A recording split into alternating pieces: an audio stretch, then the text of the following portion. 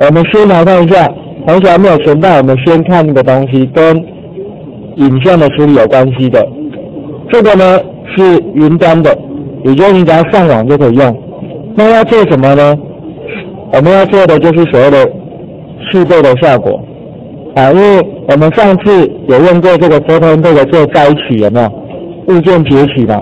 那么你事实上呢，在 Photoshop 的 CS 五的时候有一个新的功能，你看一，然后把它涂起来，然后塔就不见了。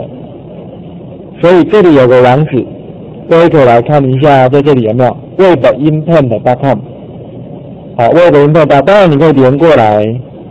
你把它连过来，它会长得像这样。那很简单，只要一二三就没有了，简单吗？所以待会我们也可以找到你的照片哦，好不好？来，我们再看一下网址在哪里，Web Intent 的，来网页的，再上来一点，在这里，这样有看到了哈，可以了。好，那么就给各位同学，你先进来一下。现在呢？三个而已，所以你从这边把你的照片先把它怎么样加进来哈？你可以自己找。那你电脑里面呢？你的照片你要用哪一个？那么我这边的话，我用这边有资料哈。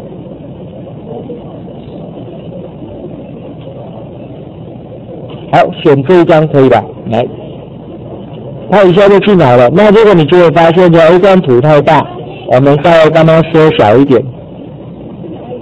有没有啊？请到那，你可不可以把阿贝请到旁边呢？可以吧？哈，所以我们来示范看呢。第一个，你先把这张转进来就；第二个呢，你的笔刷在这里，就是这里，最大到五十，有没有？最小好像到一还是五五？好，那你可以呢调到适当的笔刷大小，把你不要的地方给它涂一涂。啊，你拍照的时候，你总不能清场吧？尤其是那个哈，这个就是那个新色花海，不是不是不是，哎，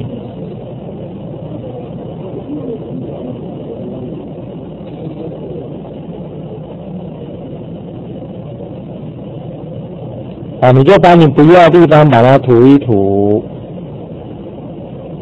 啊，当然你画错了，你可以把它重新弄掉。好了之后怎么样？按 play，它就算给你看。然后它要开始计算哈。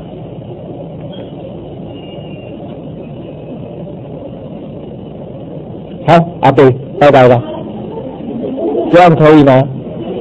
可以哈。所以你下次如果拍照的时候，万一不小心，有别人入镜了，我们就把它请开。回来再请就好了，不然会被打有没有？好，可以参考看看，你可以玩看看。那这样的东西呢，其实比较适合什么？比较适合就是像各位一般我们在天空啊，或者草地啦、树林啊，啊这样的就很适合。那如果你是，比如说后面是线条的，还是是人的，比如说你你在那他，你被一个人挡住了，你把那个人去掉，有没有办法呈现出你来？当然没办法，他哪那么厉害，对不对？他这种东西在 Photoshop 里面 CS 的新功能，这个中文翻作内容感知，也就是说，他会根据周遭的这个环境，就是影像的环境，然后呢，他就把你去掉的那个影像把它补起来，啊，把它补起来，所以其实蛮好玩的哈，你可以参考看看。这你处理好了，最后要把它存下来，这里有个存档，有没有？它就可以当你的照片出来，你直接把它存下来。所以你原本如果是多大张，它存下来就是那么大张。比如说你是用数位相机的，对不对？那它存下来就是数位相机的大小，这样了解了。